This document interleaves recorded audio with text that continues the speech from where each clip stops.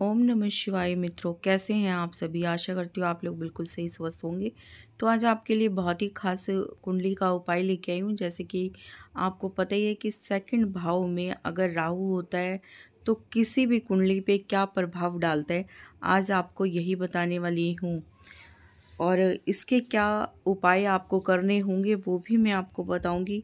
दूसरे घर का अगर राहु होता है तो जातक को बहुत ज़्यादा विपरीत में डाल देता है। धन परिवार की कमी होती है। व्यक्ति में व्यक्ति में राहु का प्रभाव ग्यारह गुना अच्छा होता है। गृहस्थ जीवन बृहस्पति के अनुसार ही चलता है। अगर आपका गृहस्थ जीवन है तो बृहस्पति देव की अगर कुंडली में अच्छे होते हैं तो ही उसी के हिसाब से चलता है। जातक का पालन पोषण धन स्थान से प्राप्त धन द्वारा होता है। जब तक कि यह दान पुण्य करे, उसकी आजीविका में वृद्धि नहीं होती। अगर आप दान पुण्य नहीं करेंगे तो आपकी जीविका में वृद्धि नहीं होगी। तो इसलिए कुछ ना कुछ थोड़ा बहुत दान पुण्य करते रहिए, जिसकी वजह से आपके दूसरे भाव का जो राहु बैठा है, वो आपको दुष्ट प्रभाव ना दे। यदि वर्ष फल में शनि पहले घर में आए तो बृहस्पति नेक होता है तो सब कुछ सामान्य रूप से चलता है, परंतु यही शनि मंदा हो तो सभी कार्य उल्टा हो जाता है। अगर आपकी कुंडली में शनि पहले घर में है और बृहस्पति इसकी वजह से नेक होता है, बृहस्पति आपको धन भी देगा, व्यापार भी देगा, आपका बिज़नेस भी चलाएगा और आपको सुख सुविधा की चीज़ें भी अर्पित करेगा। अगर ये सारी चीज़ें बृहस्पति देव की वजह से ही ऐसी जातक की कुंडली में अगर सेकंड भाव में राहु होता है तो बृहस्पति देव ही सारा कुछ अच्छा चलाते हैं। उसी की वजह से आपका सब कुछ मान सम्मान बना रहता है। आपकी जीविका अच्छी चलती है, आर्थिक समस्या से जो गुजर रहे होते हैं, वो चीज़ें ठीक रहती है। धन प्राप्त कर सकते हैं, व्यापार सही चलेगा, नौकरी सही चलेगी, वैवाहिक जीवन भी अच्छा चलता है। और अगर बहुत ज़्यादा ही आपको राहु परेशान कर रहा है, इसका राहु जब परेशान करता है तब आपके सभी कार्यों में अड़चन आने लगती है, आपके कार्य बिगड़ जाते हैं, आपका व्यापार अच्छा नहीं चलता, आपकी वैवाहिक ज़िंदगी में पति पत्नी में अच्छा सा नहीं बनता, आपके बच्चे कहना नहीं मानते या आप क्रोधित रहते हैं, आपको समझ नहीं आता कि आप ऐसे में क्या करें। तो राहु ऐसा कुछ करवाता है जो कि आपका समाज में मान सम्मान सब कुछ गिरा देता है।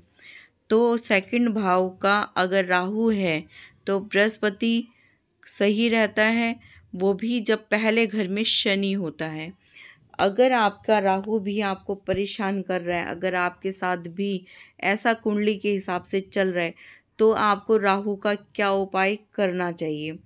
चांदी या सोने की गोली हमेशा जेब में ज़रूर रखें, पर्स में या जेब में ज़रूर रखें। ऐसा करने से आपके पास कभी भी धन की कमी नहीं होगी। अगर आप ऐसा नहीं करते तो आपको हमेशा आर्थिक समस्या से गुज़रना होगा। हमेशा आपकी जेब खाली ही रह सकती है। जैसा पैसा आता है, वैसे ही पैसा निकल जाता है। हाथी के पाँव की मिट्टी कुएँ में गिराएँ।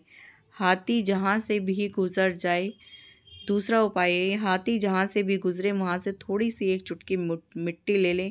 और कहीं आपको कुआँ दिख जाए तो उसमें छोड़ दें।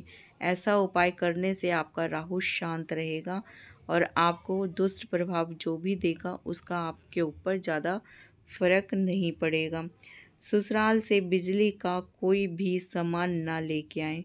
अगर आपकी शादी हो रखी है और आपका राहु परेशान कर रहा है तो ससुराल से कभी भी बिजली का सामान ना लेके आना अपने घर।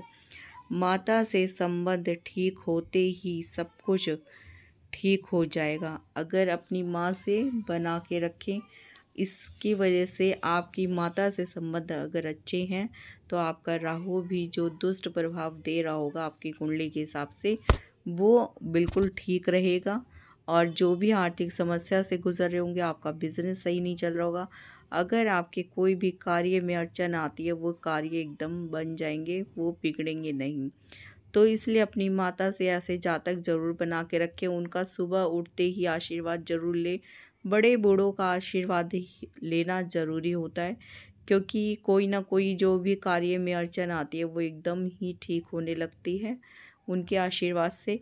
तो मैंने आपको उपाय भी बताए कि कैसे सेकंड भाव में अगर राहु बैठा होता है तो क्या क्या हमें प्रभाव देता है ऐसी कुंडली पे क्या जातक को दिक्कत होती है और क्या वो महा उपाय कर सकते हैं? तो मैंने आपको समझाया, आप पूरी वीडियो को देखा करें और अगर वीडियो अच्छी लगती है तो ज़्यादा से ज़्यादा लाइक करें, शेयर करें, चैनल को सब्सक्राइब करें और अगर कुंडली और हस्तरेखा के लिए संपर्क करना चाहते हैं तो स्क्रीन पे नंबर दिए हुए पे व्हाट्सअप कर सकते हैं, मैसेज कर सकते हैं।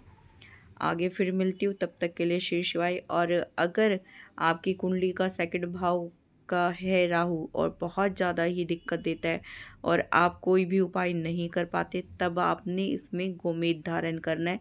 गोमेद कितने कैरेट का होगा, वो कुंडली को सर्च करके ही बताऊँगी। अगर ऐसा किसी की भी कुंडली में सेकंड भाव में राहु बैठा है और परेशान कर रहे हैं तो ऐसे में गोमेद धारण करें। गोमेद धारण कितने कैरेट का होगा, कुंडली को सर्च करके ही बताया जाएगा, क्योंकि ऐसे मैं आइडिया से नहीं बता सकती यहाँ पे।